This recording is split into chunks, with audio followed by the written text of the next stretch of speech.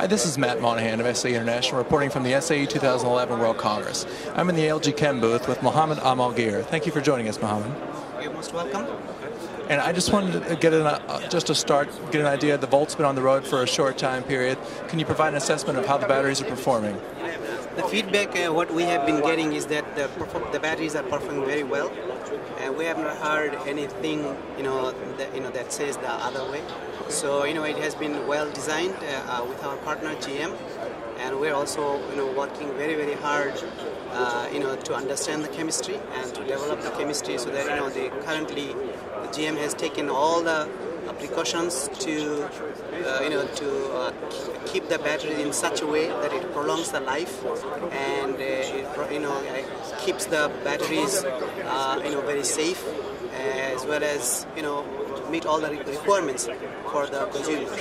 You know, so a lot of thoughts and a lot of engineering uh, designs went into uh, designing a very very uh, stable, uh, well-performing.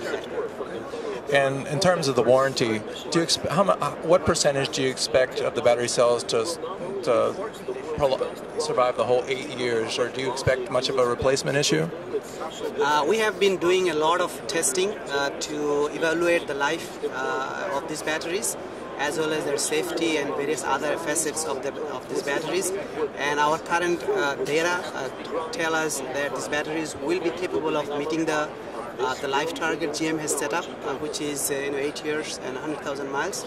We are very confident that that will be the case, and we have a lot of data uh, which are being currently generated in our labs working in, in very close cooperation and collaboration with GM. So we have a whole slew of data which have already been acquired and also being acquired in this respect. So we are very confident that those, uh, those cells will be capable of meeting the performance and safety of these batteries. Okay, great. And what are some other vehicles that, that LG Chem is working on providing a battery system for? And will those batteries be similar to the system that's in the Volt?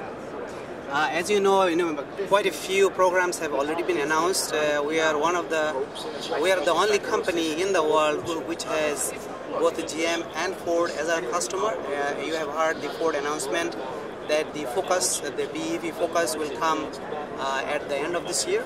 Uh, that is, a, you know, that is we are very proud to have Ford as our customer. Along with that, the other other customers which we have already announced is the uh, Volvo. That's, that will also use uh, similar uh, battery packs as I mean similar cells what we have used for GM. along with that, we have other vehicles which we have announced like the Eaton, as well as uh, you know, the Renault in, in, in, France, that will also use the uh, same cells what we have done for, uh.